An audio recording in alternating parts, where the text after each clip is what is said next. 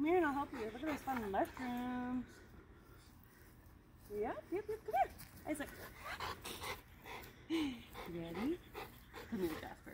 You're a good listener too.